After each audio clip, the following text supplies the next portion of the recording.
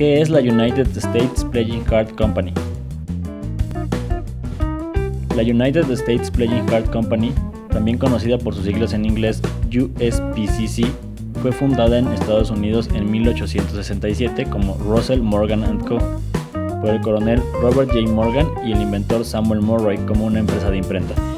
Fue hasta 1881 que decidieron enfocarse en la impresión de naipes, lanzando sus primeras cuatro líneas de cartas: Tigers, Sportsman's, Army and Navy y Congress, todas descontinuadas hoy en día, pero en 1885 aparece por primera vez un viejo conocido de todos, Bicycle.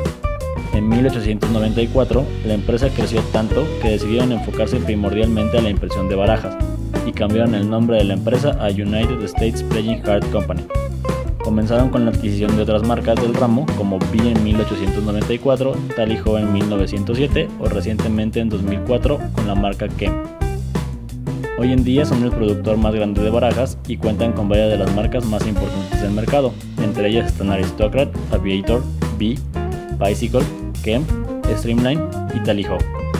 La empresa ha cambiado de dueños varias veces durante su historia, volviéndose más recientemente parte de la empresa New World Brands en 2015.